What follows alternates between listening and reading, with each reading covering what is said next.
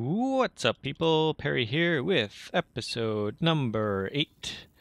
And in this episode, we're going to kind of do a little bit of housekeeping uh, just so that we can start to get to work on that build. Because you know what? I got some ideas and some things that I want to do over in that creative build. But the first thing that we need to do is to move our little horsey friend from that area over to here because I got a little comment that said I should name that horse Buck and I really like that name so we're going to name him Buck. But in order to do that I got to switch over to survival mode you know just to keep things legit and you know just be able to say that I could could have uh, got a horse by myself because you know what? I have never been able to tame a horse. Well not that I've tried or anything but I've been so heavily involved with creative mode that I never really got to enjoy uh, too much of the survival. And in this area here, there wasn't, well, there are no horses in this area, but um, so I never got a chance to tame one. But one of the comments that I saw is someone very observant saw this thing uh, in one of my episodes and said, What is it? Well, it's a mob spawner. Yeah, you could probably guess by the ugliness of it. It's not too special. I just wanted to, to get something going. But the idea behind it was that there's a skeleton spawner down here. And that's how it all started was I found a skeleton spawner and I kind of made a little mob system out of it, but I wasn't really liking the fact that I was just getting skeletons, so I decided to to make a little mob spawner. It's not a very good one, mind you. You know, it's not. It doesn't have the high efficiency that you would see from guys like Etho, you know. But you know, it does the trick. It does the trick for me, and it, you know, it works. So what we're gonna do, we're gonna switch over to survival mode, and you can tell I only pretty much play in creative because I just leave all my doors open. It's not really a good thing to do when um, you're playing in survival because then the mobs just wander in. but all right, here we go. And we're going to switch over to our survival gear. And let's see if I learned my lesson. So you shift and you click. Wow, look at that. Cool. Now we're going to switch over to survival. You get to see my awesome typing skills. Game mode. Was it zero? Yep. You can see my levels have gone down considerably because I died. I died off camera course. Let's see, let's get our stuff here.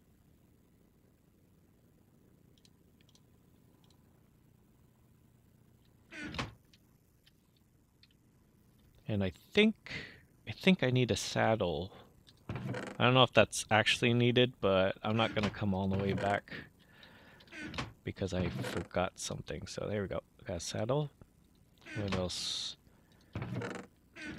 Do they need, like, food? Because I don't think I have carrots. Oh, actually I do. Um, yeah, I do. I do. I do. Because that's in the uh, skeleton spawner, and this will give me a chance to show you. So it's just down here. You go down this empty pathway, turn the corner, bam, skeleton spawner right here. And we'll walk down here, and I got I got a little setup going, place where I can go grow trees and some chanting table here. Uh, all the stuff that I need in order to kind of just fool around and, and do random things while I wait for the uh, spawner to, or the little, well, I don't know what you call it, the little spawner slash catcher thing to fill up. So, but here's the uh, skeleton spawner. I can play this game correctly. There it is. And so I should actually, I should change the game mode. That's what I should do. Change it to hard. Video settings. Where's that other? Night only. Nope, not night only. Default. There you go. Perfect. Perfect. Now let's get some stuff.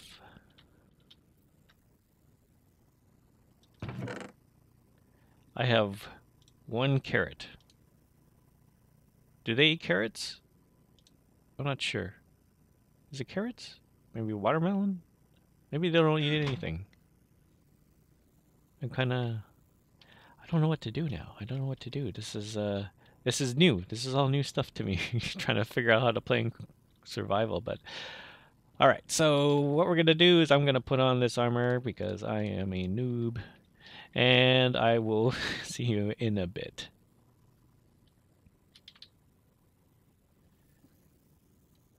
Alright, and we're off. Uh, you know what? I forgot food. I forgot food. I forgot food. Gotta go back and get it.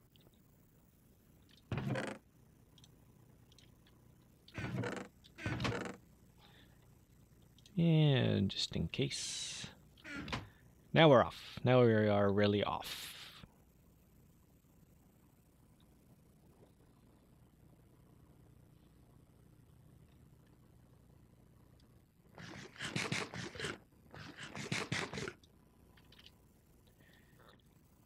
Get my sprint on.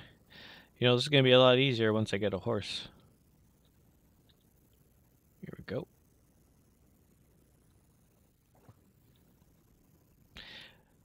Now, just so you know, in terms of uh, orientation, the house is over there, and I kind of have to take the long way around to get to where I need to go. And I think I don't know if there. I don't think there's really a shortcut through there because there, there's. It's just like a big mountainside here, but yeah, if I keep on going this way and then basically I'll turn the corner there, there should be there should be an easy way to get to the build. And here we are. You know, in creative mode, these look pretty small, but when I'm in survival mode, especially when you're looking from the ground up, these look pretty big. Wow. Um, yep. Here we go. Just up and over this hill. And there's those mountains that we made last episode. And here's our buddy Buck. Hey, buddy. Now, the I think the idea to to get on the horse or to, to tame the horse is you gotta you gotta ride it. So you gotta like right click. Nope. Nope. Man, I've been trying to get you to buck the entire time and you Or you you you shift or crouch. No. Crouch. Crouch. Do you do you bow to it? Hello. We gotta hurry up because the, the sun's going down here Do you want some of this? You want some of this? No? Shoot. It's getting dark. I think I think I may have screwed up. I think I may have screwed up. Um, oh shoot. Okay. Okay. All right. Don't worry, Buck. I'm to save you. Don't worry. All right, all right. All right. So it says in the wiki that I need to approach the horse with an empty hand. So let's do that. Get that out of there.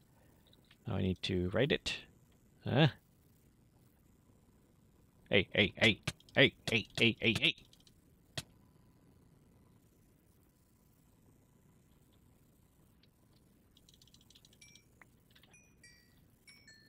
Uh, okay. Empty hand. Get on the horse. Nope. How about now? Nope. Oh, it's gonna take a while. Nope.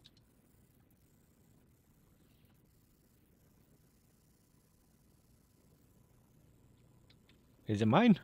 Are you mine? Alright, so we need to put a saddle on. So we need to drop it there. Get on. Aha! Away we go! Woohoo! It's dark.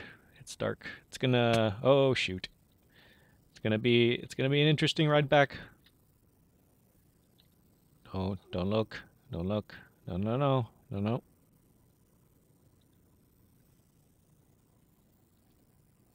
Oh. Um... Let's go around the other way. Yeah. So I think I want to be able to get this guy home and then I'll be able to go to sleep and then then we can work on a little a little home for Buck here.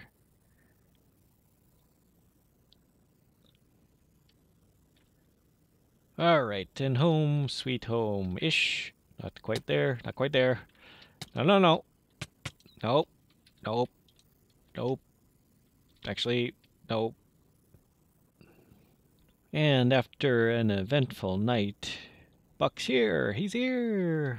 He's in, uh, he's in our little survival build here. And he's kind of roaming around, stomping on the crops. So I think we're going to find him a little temporary home. So you're going to come with me, buddy. Come on over, Buck. Come on over. You can uh, you can hang out with uh, these animals over here. There you go. Just for now. Just for now, buddy. Don't worry. And I got a little name tag for him. Hey, it's Buck. It's Buck. Woo! Yay! I love it when they open their mouth like that. It makes it look like they're smiling. But uh, what we're gonna do is we're gonna we're gonna make them a little home. Nothing too nothing too extravagant or anything like that. But uh, I, I want to give them a little home before we go off and uh, get our get the creative juices flowing. You know. So I'm gonna do that. I'll just see you in a bit. And here's Buck in his little temporary location. It's just something I whipped together in about five minutes, and it'll have to do until we can find something uh, better for him. But we want to get on with the rest of this episode, and we want to concentrate on the creative side. We want to get to that big build over there. So I'll see you there in just a bit. So what we have here is a little montage of what I was doing earlier, and that was building the little pathway up to the plaza level. And as you can see here, what I'm doing is just placing blocks so I can get an outline of where I want this build to be. And as you can see, it's pretty simple to start off with. And when we get to the side view, you can see how it slopes up. So the next thing that I wanted to do was to even up the slope, then start placing a combination of half slabs and sandstone blocks and as you can see, I did something there I really don't like to do, and that is to place blocks over holes. I know there are some people, and there are some people, some YouTubers out there that like to do it, and it kind of drives me crazy. uh, B-dubs. But then I had noticed that in the original build, I had this pathway that goes around the entire circumference of the build. And that was something I didn't want to get in the way of. So I thought that the slope should actually start right there, right where I'm cutting. And uh, so as to not interfere with the pathway that I was already creating. Or actually the one that was already created, sorry. And there we have the even out pathway up to the plaza level, except for the part that's on the original pathway.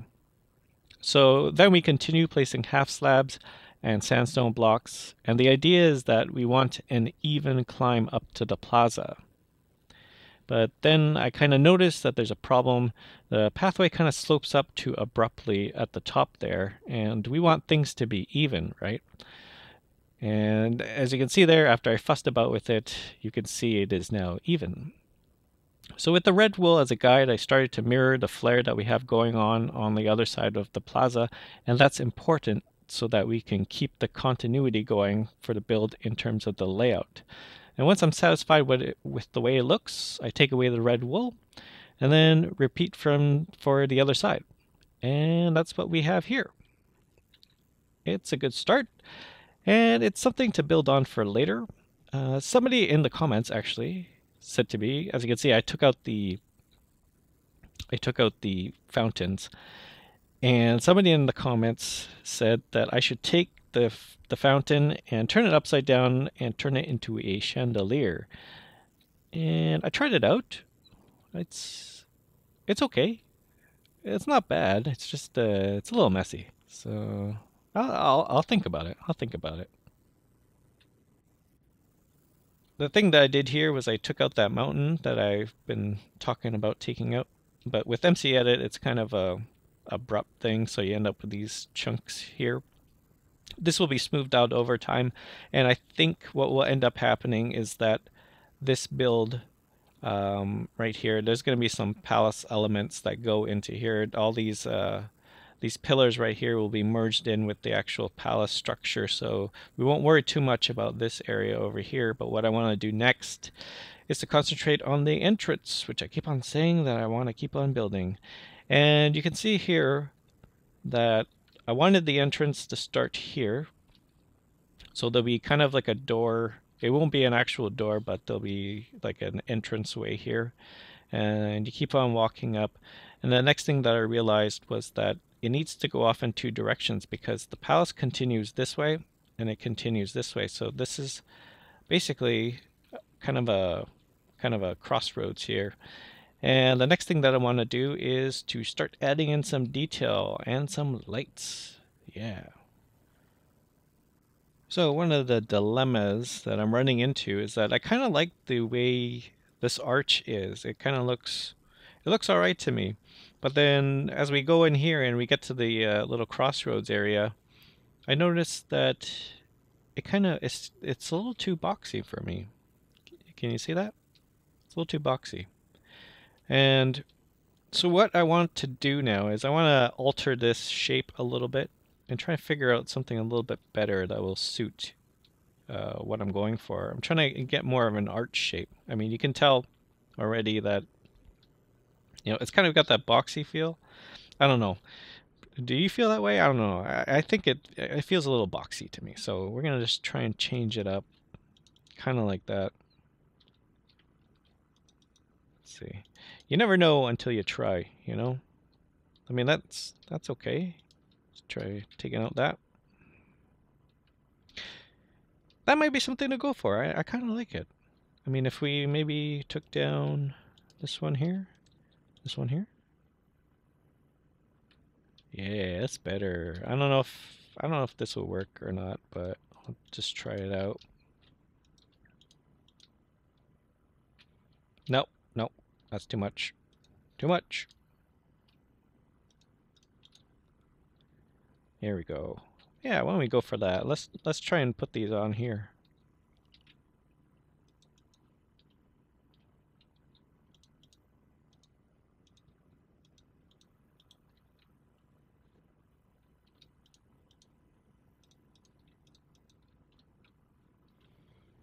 Yeah, I think I feel I feel that this is a little better but uh, it could use a little tinkering. Um, but what I'm going to do instead, I'm, gonna, I'm just going to go with this for now. But if I come up with a better idea, that might be that might be a good thing to do. And so what I'm going to do next is I'm going to transfer those these over to those, and then down this hall, and then down this hall. And here we go. We've uh, taken all those patterns and repeated them down the line here. Um, Again, I don't know how far these will go, but I'm assuming they'll go pretty much further than uh, what you're seeing right now.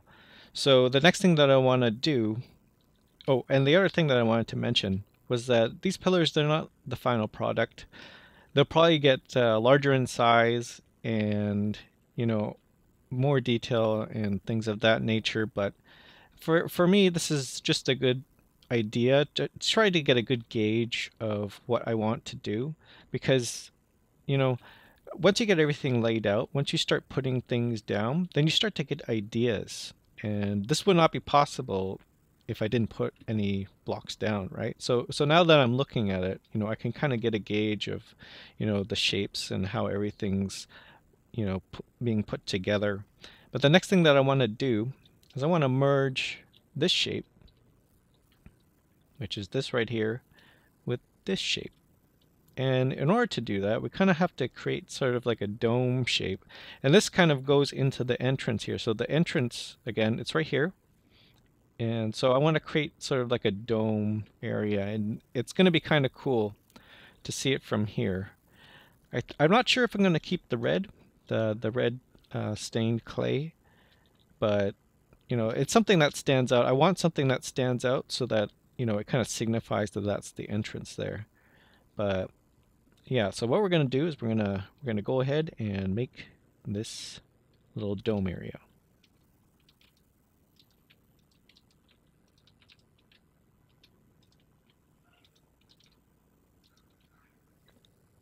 And here's what I came up with. It's all right. It's a good start, but you know, the all these things are subject to change, and we'll we'll we'll get things figured out as we go along here.